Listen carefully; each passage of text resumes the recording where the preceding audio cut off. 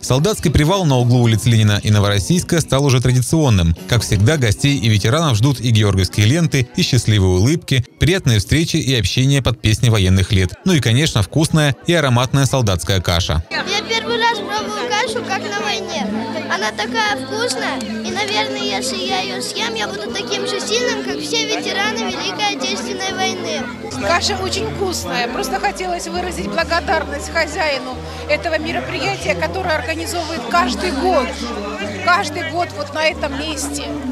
Палатка, каша, 100 грамм фронтовые, хлебушка, салатик. Это настолько впечатляет, настолько настолько это вдохновляет, что есть такие еще люди, которые не забывают это. Этот праздник, по словам организаторов, уже стал доброй традицией. Встречает немногочисленных ветеранов, освобождавших Родину, которые в тяжелейших условиях противостояли фашизму. Они, как никто другой, знают цену победе, поэтому и празднуют от души, искренне радуясь миру. Рестайлинговый автомобиль украинского производства с надписью «На Берлин» стал украшением праздничной площадки, напоминая о том, что одним из фронтов, штурмовавшим главную цитадель фашизма, был Первый Украинский фронт. Коллектив ООО «Партнеры перспектива» поздравляет всех ветеранов с праздником Победы. От всего сердца мы хотим поздравить и пожелать крепкого здоровья нашим героям. Спасибо вам, наши дорогие, за победу. Низкий вам поклон. Мы помним и гордимся и чтим вас.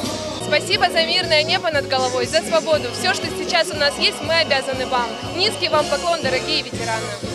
Все проходящие мимо ветераны, анапчане и гости курорта, спешащие в центр города на праздник, останавливались здесь. Всех встречали с улыбкой, заботой и сердечным теплом, приглашая за стол солдатской кашей и фронтовыми 100 граммами. День взятия Берлина в 1945 году – это одновременно боль и горечь по погибшим фронтовым товарищам, по уничтоженным гитлеровцами миллионами советских граждан. О них вспоминают и семьи погибших воинов, и сами ветераны, вернувшиеся живыми с войны. Но тем не менее радость затмевает грусть, ведь наши предки выстояли и победили, и сегодня все внимание и все почести им.